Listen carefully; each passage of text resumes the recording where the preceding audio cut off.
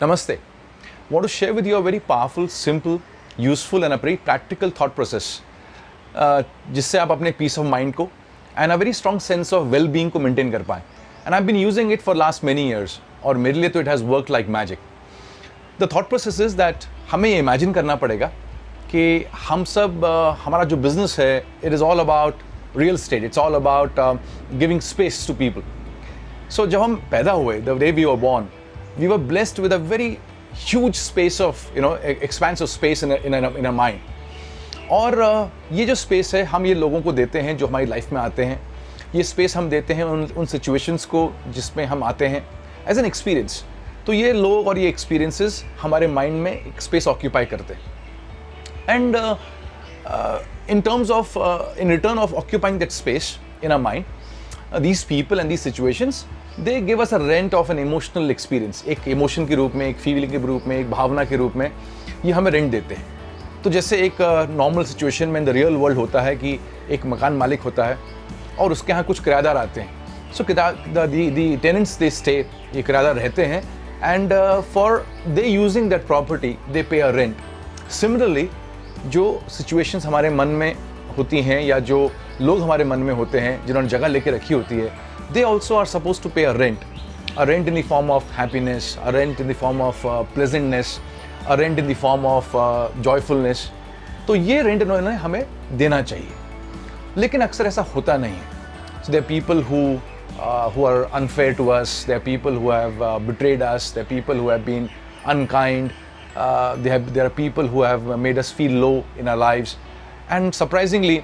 ये लोग काफ़ी जगह लेके रखे हैं हमारे माइंड में तो अगर आप देखोगे बाहर की दुनिया में कि कोई मकान मालिक है और उसका कोई किराएदार है और उसने बहुत दिनों से किराया बहुत महीनों से रेंट नहीं दिया है तो क्या होता है Of course, the, the landlord says this tenant to evict the property,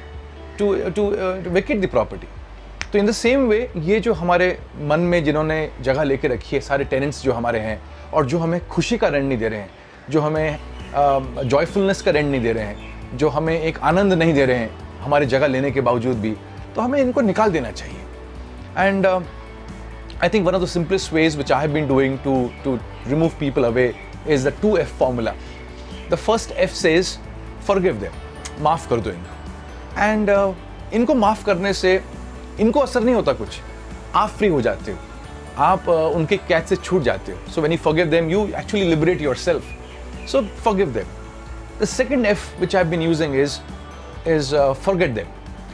so forgetting will only happen जब हम उस सिचुएशन से कुछ सीखने को तैयार होंगे। अगर हम कुछ सीख रहे हैं, हमने कुछ उसमें से लर्निंग ले लिया तो उनको फिर भूलना इज़ इज़ लॉजिकल बिना सीख लिए अगर हम उनको भूल जाते हैं तो हमारे साथ सेम सिचुएशन दोबारा हो सकती है। So all these people who have been they are people let's forgive them let's let's understand that they are people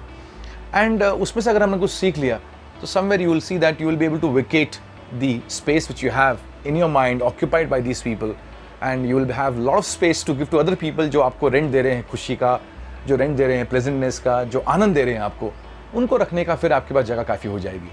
So it has work for me for last many years and I wish it should work for you also that let is be happy landlords